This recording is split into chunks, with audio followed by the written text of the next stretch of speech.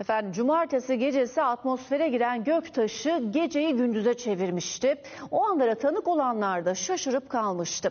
Göktaşının parçalarını bulanlar şimdi zengin olma umuduyla onları satışa çıkardı.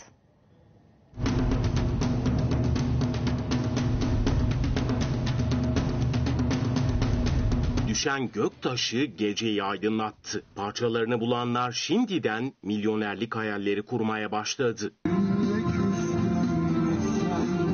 İnşallah göktaşı ve değerli bir şeydir. parlıyordu. İki gün önceydi Doğu ve Güneydoğu semalarında dev bir ışık huzmesi karanlığı yardı. Dışarıda otururken birden gökyüzü aydınlandı. İlk başta deprem oldu sandık. Çatıdan bir ses geldi. Sonra bahçenin içine bir şey düştü. Gökyüzü maviye döndü, ardından göktaşı saniyeler sonra yanarak düştü.